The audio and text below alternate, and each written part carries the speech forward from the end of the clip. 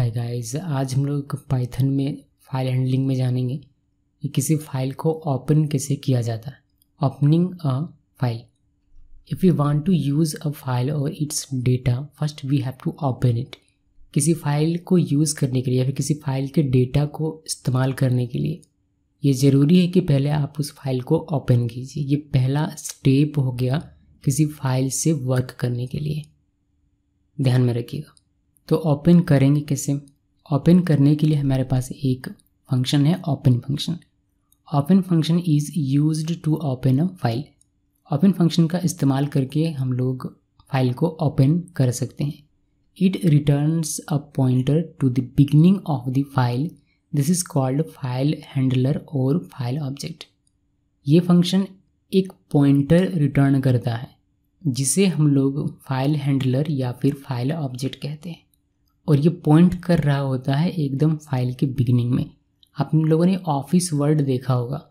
Office word में जब आप ओपन करते हैं किसी फ़ाइल को तो आपको जो एक ब्लिंक करता हुआ एक स्ट्रेट लाइन होता है, वह स्ट्रेट लाइन पाइप साइन की तरह रहता है, वह ब्लिंक करता है जहाँ पर लिखते हैं वहाँ। तो वो जब आप ओपन करते हैं तो वो एकदम बिगनिंग में रहता है।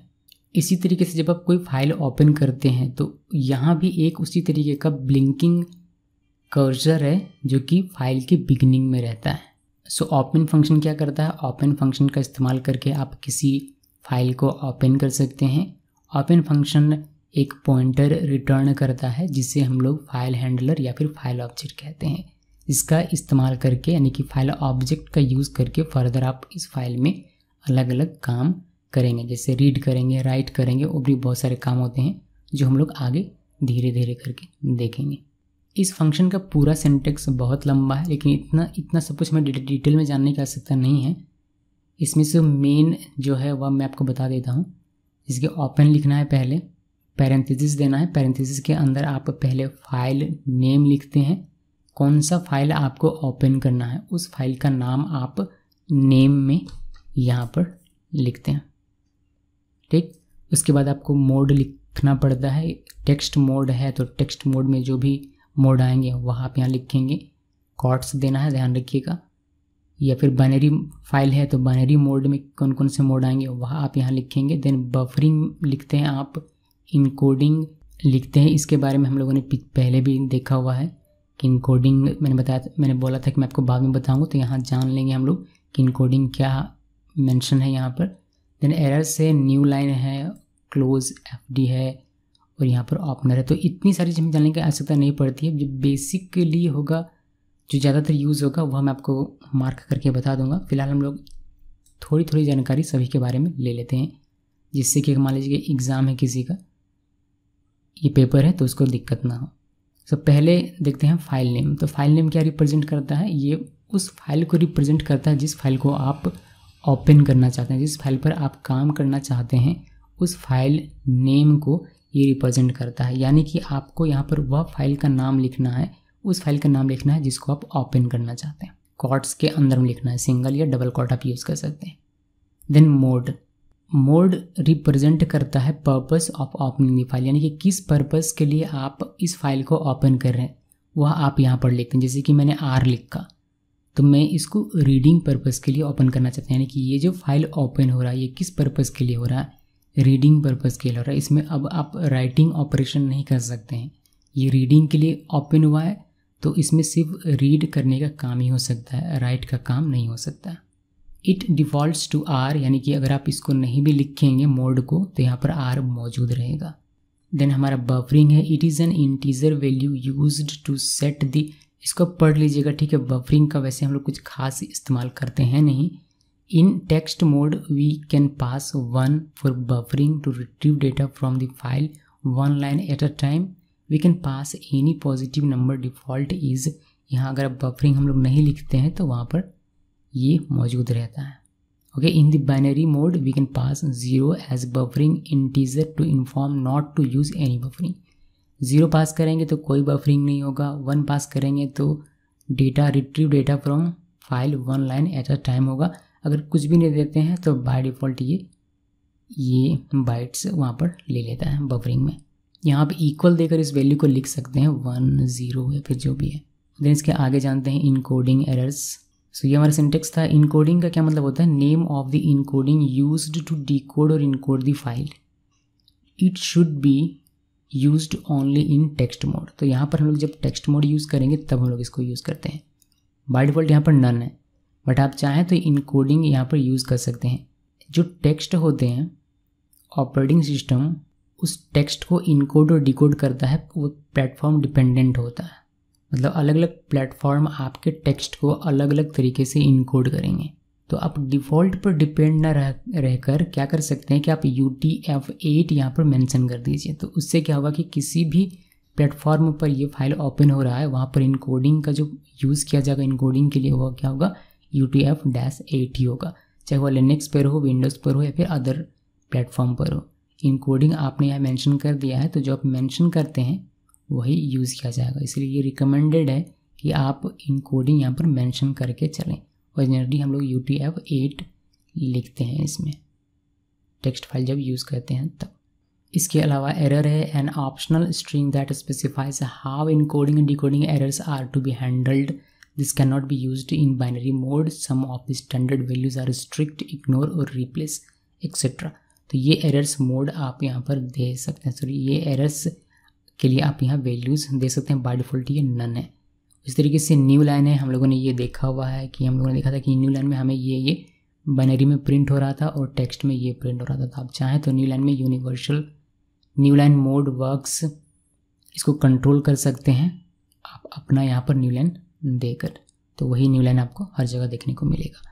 देन एक हमारा है क्लोज एफ़ डी ये तब यूज़ किया जाता है जब आप फ़ाइल डिस्क्रिप्टर देते हैं बजाय फ़ाइल नेम देने के। बाय डिफ़ॉल्ट इसमें ट्रू रहता है, जब आप ट्रू देते हैं तो आपको फ़ाइल नेम लिखना पड़ता है और जनरली हम लोग फ़ाइल नेम ही इसमें लिखते हैं। देन लास्ट वन इसमें है ओपनर ये नया आया है इसमें पाइथन में a custom opener can be use by passing a callable as a so इसमें मैं आपको कुछ चीज़ें बताता हूँ जो इम्पोर्टेंट है हमारे लिए। पहली बात तो ये कि फ़ाइल नेम आपको देना है ये अनिवार्य है, बिना फ़ाइल नेम का काम नहीं बनने वाला है। दूसरा, हम लोग यूज़ करेंगे मोड तीसरा, हम लोग कभी कभी यूज़ करेंगे बफरिंग हम लोग यूज़ करेंगे इनकोडिंग और यहाँ से कभी कभी अगर ज़रूरत पड़ती है आपको तो आप न्यू लाइन को समझ कर रखिए, आप ये यूज़ कर सकते हैं। बाकी चीज़ें हम लोग यूज़ नहीं करते हैं। डिफ़ॉल्ट के साथ हम लोग जाते हैं। इसके साथ मैं आपको ये भी बताना चाहूँगा कि यहाँ पर जो वैल्यूज़ हम लोग देते हैं, आपको फ़ाइल नेम देना है, पहला इसका पैरामीटर दूसरा पैरामीटर आपको मोड देना है, तीसरा आपको बफरिंग देना है। बफरिंग में आप इक्वल देकर जो भी वैल्यू लिखेंगे, वह लिखेंगे। इनकोडिंग देकर आप जो भी वैल्यू लिखेंगे, वह लिखेंगे। ये ऑर्डर मेंटेन होना चाहिए तब जब आप ये ना लिखें। सिर्फ़ आप वैल्यूज़ लिख रहे हैं। जैसे कि फ़ाइल नेम लिखा कॉमा देकर मैंने सिर्फ़ आर लिखा रीडिंग मोड के लिए। फिर मैंने सिर्फ़ बफरिंग का जो भी वैल्यू होगा ज़ीरो या वन वह लिखा, ये नहीं लिखा। फिर कॉमा देकर मैंने इनकोडिंग का सिर्फ़ यू टी एफ़ या फिर नन लिखा। तो इस केस में आपको इस ऑर्डर को मेंटेन करना है।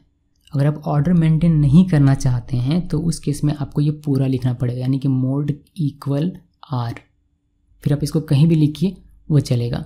इनकोडिंग इक्वल नन कहीं भी लिख के चलेगा। ऑर्डर मेंटेन नहीं करना बफरिंग इक्वल जो भी वैल्यू है, कहीं भी लिख के चलेगा। आपको ये इस तरीके से ऑर्डर मेंटेन नहीं करना पड़ेगा। जब आप इस पूरे को लिखेंगे तब। लेकिन अगर आप सिर्फ़ वैल्यूज़ देते हैं, जो भी वैल्यूज़ यहाँ होगा और जो वैल्यूज़ यहाँ होगा तो उस केस में आपको इसका ऑर्डर पूरा मेंटेन करना पड़ेगा, जी। ठीक, यहाँ तक समझ में आ गया क्लियरली अभी हम लोग इसमें थोड़ा सा एक एग्ज़ाम्पल देख लेते हैं प्रॉपर कि ओपन को लिखते कैसे हैं। ओपन को लिखने का सिंपल सा तरीका है, आपको ओपन लिखना है। ओ पी ई एन उसके बाद मैंने लिखा फ़ाइल नेम मेरा फ़ाइल का नाम है student dot T X T extension है इसका। कॉर्ड्स के अंदर में लिखा कॉमा देकर मैंने यहाँ डब्ल्यू लिखा हुआ है। आप यहाँ पर मोड इक्वल डब्ल्यू भी लिख सकते हैं बट मैंने ऑर्डर यहाँ मेंटेन किया है। मेरा सेंटेक्स आपने देखा होगा था मेरा पहले था फ़ाइल नेम इसके बाद मेरा था दूसरा मोड अब अगर मैं यहाँ पर लिख दूँ कॉमा देकर यू टी एफ़ एट तो फिर काम नहीं बनेगा बिकॉज़ वो ऑर्डर बिगड़ गया। फ़ाइल नेम, मोड के बाद बफरिंग लिखना था। बट मैं लिख रहा हूँ क्या? इनकोडिंग जब ऑर्डर से आप भटकते हैं तो आपको पूरा लिखना पड़ता है। इनकोडिंग इक्वल सम जो भी उसका वैल्यू होगा। ओपन फ़ंक्शन का यूज़ किया फ़ाइल का नाम लिखा। इस फ़ाइल को किस मोड के लिए ओपन करना है, किस पर्पज़ के लिए ओपन करना है, वो हमने लिखा। मैं आपको बताऊँगा कि कौन कौन सा मोड होता है यहाँ पर कुछ देर में। मे बी नेक्स्ट वीडियो में आई गेस आई बिलीव उसके बाद ये फ़ंक्शन रिटर्न करता है एक फ़ाइल ऑब्जेक्ट तो यहाँ पर आप कोई भी कुछ भी लिख सकते हैं। मैंने एफ़ लिखा हुआ, अब एफ़ की जगह कोई भी नाम लिख सकते हैं। ये एफ़ क्या है हमारा? ये एफ़ हमारा फ़ाइल ऑब्जेक्ट है। स्पेसिफिकली बताऊँ तो ये हमारा फ़ाइल नेम हो गया। ये हमारा फ़ाइल मोड हो गया। यानी कि किस पर्पज़ के लिए आप फ़ाइल को ओपन कर रहे हैं? डब्लू है तो राइट के लिए। और ये हमारा हो गया फ़ाइल हैंडलर या फिर आप इसे फ़ाइल ऑब्जेक्ट कह सकते हैं। इसके अलावा आप चाहें तो यहाँ पर फ़ाइल पाथ भी दे सकते हैं। पूरा का पूरा यहाँ पर पाथ भी आप इस तरीके से लिख सकते हैं। ये हमारा क्या है? ये हमारा है फ़ाइल पाथ जब मैंने ये लिखा, इसका मतलब ये है कि जहाँ मैं प्रोग्राम बना रहा हूँ, उसी डायरेक्टरी में मेरा ये वाला होगा। तो मुझे पूरा पाथ लिखने की आवश्यकता नहीं पड़ी। लेकिन आप चाहें तो इस तरीके से पाथ स्पेसिफाई कर सकते हैं। सो so, इतना मैं आपको दिखा देता हूँ कि फ़ाइल को कैसे ओपन करना है। हालाँकि इसका कोई एग्जांपल बनता नहीं है प्रैक्टिकली मगर फिर भी मैं आपको ये दिखा देता हूँ।